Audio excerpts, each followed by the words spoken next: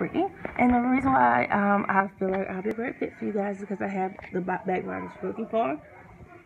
As far as sales rep and things like that, I have the ambition and drive things that you're looking for in a rep, and I feel like I would be a great asset to you guys as far as the things I've known have learned in telemarketing. Um, I done did a lot of learn for a whole bunch of companies, so I'm fully prepared and ready for it. I'm hoping you guys give me a chance.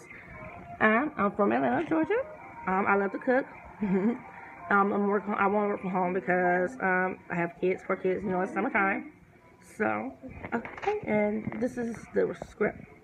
Hello, I'm looking for Marvin. Maybe you can help me with help me out. Hi, Marvin. I'm sorry. I was knowing that this is kind of um, out of the blue, but I will actually calling about the property that um, I've been that I've been on that you own for at least the first or second or third friend street. Okay, is that correct? Okay, well, yeah, you know, I'm actually interested in buying and selling houses in the area. Um, I just wanted to see if you were, you know, willing to sell it. Okay. Yeah, okay. I'm sorry. My name is Brittany. I'm partnered with Brandon, and I was buying houses in your area, and we're looking for another house or two. Okay, yeah, my partner, sorry, my partner name is Brandon, and we're looking for um a house or two. Well, um, the the great question. That's a great question. Okay. Yeah, I was flipping some of them and kind of depend. It kind of depends, um, basically.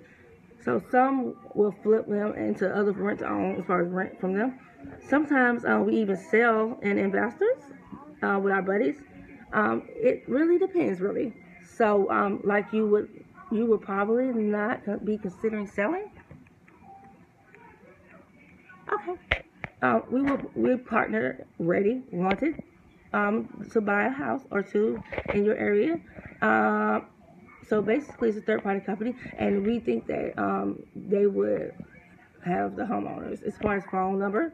Um, they'll send you back um, to us, and um, we'll just reach out to people and see, you know, if anyone wants to sell or anything like that.